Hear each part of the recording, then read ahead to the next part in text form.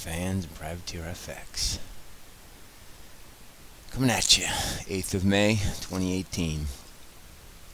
A uh, couple things on my mind this morning. First and foremost, uh, the crude chart.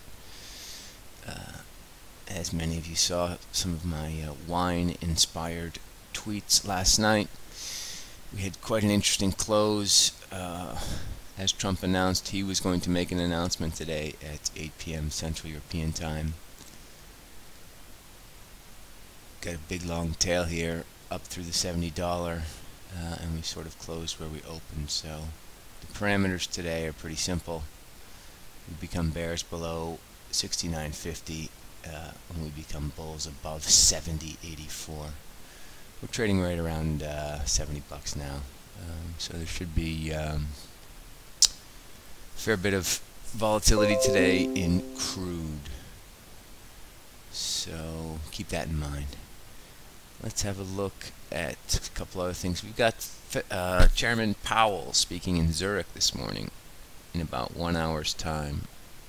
It'll be 9.15 Swiss time, 8.15 in London.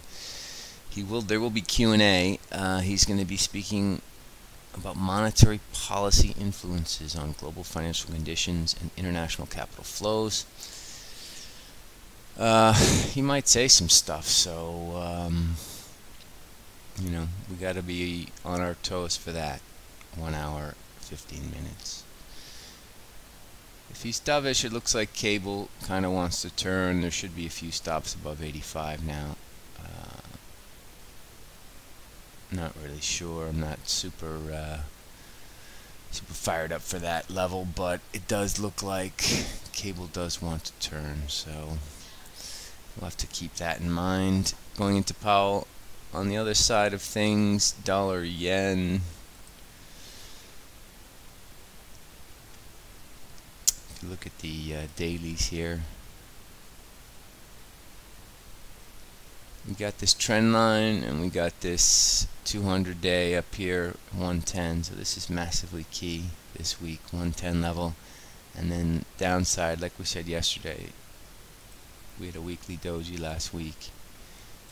Downside also important 108.64 so through the highs and a trend line break or through the lows back risk off if it's a more dovish Powell uh, I don't know why he would be dovish today. I'm expecting uh, some hawkish language. Euro, not doing much. Trend is lower. I think you're going to see the flock try and fade into this 200-day moving average. Aussie had bad retail sales last night, but it's basically done nothing. Kiwi same. We're just sitting here at 70 cents. Nothing going on. Um, dollar CAD we're at the top end of the range. Let's keep in mind the high on Friday was 18 high last night 14 this is going to be driven by oil so keep an eye on the oil space. Um, and let's just look at equities not doing much.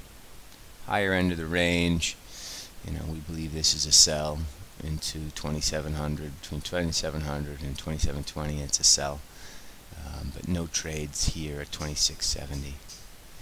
So basically we're going to be trading the news today. Um, we don't have any amazing setups on the charts, so we're just waiting for Powell to uh, to howl. So one hour, six minutes. Uh, let's get ready for Powell. All right, guys. Talk to you soon. I'll see you at the New York Open. Ciao.